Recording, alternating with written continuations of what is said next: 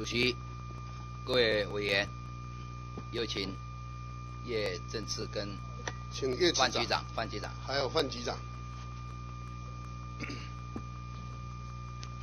杨委员您好。呃，你好。这个无障碍空间已经推动很久了哈，而前面几位委员一再的提啊台铁在这方面的成绩啊是非常的缓慢，是一个事实。呃，台铁说是因为预算有限啊。这个影响改善的这个进度，那硬体改善是需要一点时间，啊，预算也要来配合。但是范局长啊，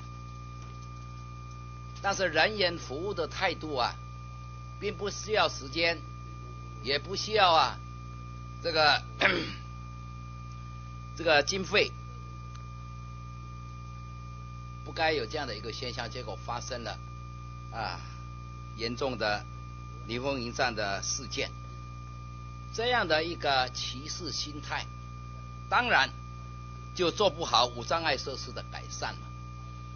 这是那种百年老店老大的心态啊，多少是这样的一一一一个表象哈，而。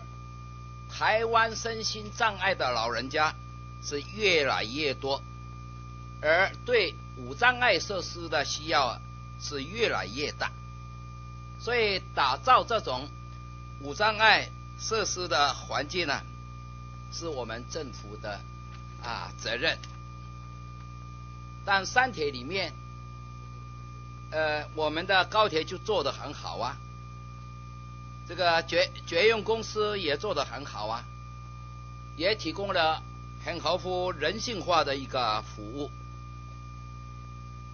台铁目前在这个方面呢，无障碍设施啊，做的是两层，而且刚才铁路局这边说，在今年年底可以完成七十七个站的这个无障碍电梯的设施。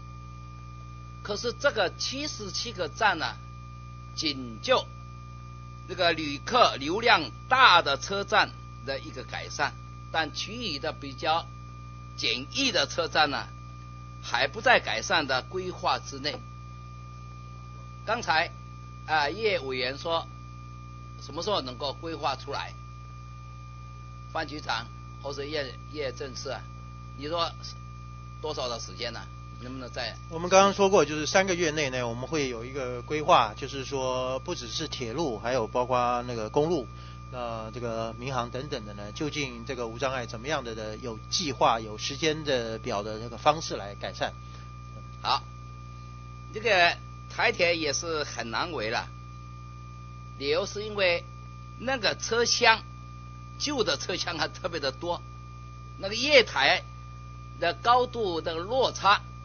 也也造成呃很大的一个问题，只是啊一直看不到啊具体改善的一个措施啊。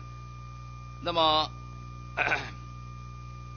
上一次交通部毛部长也说啊，这个已经规划完成阶段性的一个任务以后，那这个事情呢就陆陆续续的在进行。我倒是很希望说啊。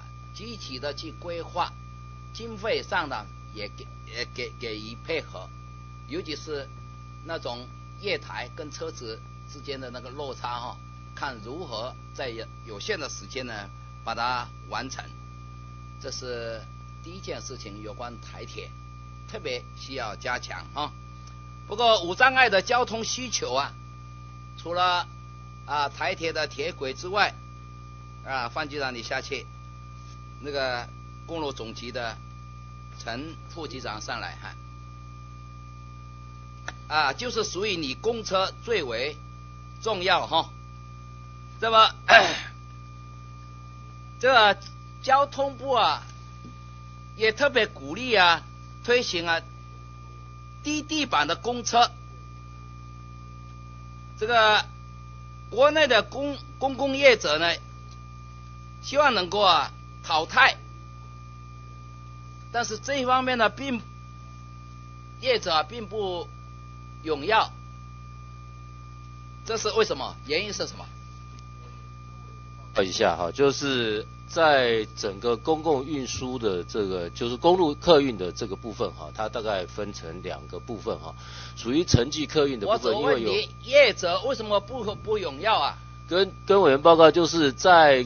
就是低底盘公车的部分哈，就是在政府这边有补助，但是整个购车的一个成本是比较高的。那另外是相关的路线上面必须要有一些规划哈，才能够发挥它的一个效果哈。那特别是在跟高铁或轨道系统连接的这些客运路线上面去做一个衔接，以及呃，就说一些身障人士他们一般生活上面要。经过的一些重点的一个生活的一些场域上面的一些路线公车的部分去做一些布设，它才能够发挥它的一个重点的效果。那业者这边当然有它成本上的一些考量。这个毛部长啊，也曾经表示说，人家日本在这一方面的地板公车的补齐率约百分之二十三，而而毛部长说啊，希望能够在短期之内啊，可以达到百分之二十。而我们的中央啊，也陆陆续续的补助各县市那些个啊淘汰的那些个公车，你们给的资料是五百二十六辆。也补助啊，来淘汰。可是我请教你，现在各县市目前呢，低地板的公车情况是又如何？你补助给他了，结果你刚才讲成本的问题就没有没有没有做，那不是白给了吗？啊？那个事实上呢，各个地地县市的是不一样的哈。那我们的补助就是要要开换嘛。今年度呢，事实上已经就是基本上达成那个市区公车的总数达成百分之二十是没有问题的哈。但是大致来说呢，像北部这个都会地区呢是做的比较，就是大都会地区直辖市，像台北市啊、台北县啊、台南台南相对可能稍微弱一点，像台中市啊，这个比例都还不错。那其他有一些呃。地方呢稍微落后一点，呃，这就是一种心态嘛。你看，你们所做的只是都会区，而人口老化啊，地处偏远，也欠缺大众运输的县市，反而没有能够优先的补助。能不能优先补助啊？在这方面，在偏远地区啊，低低地板那个公车呢，只适用于那个市区哈，在那个乡，就是说偏远地区的这个像山路啊，在这个这些地方，它并不适用行驶低地的版的这个这个公车哈。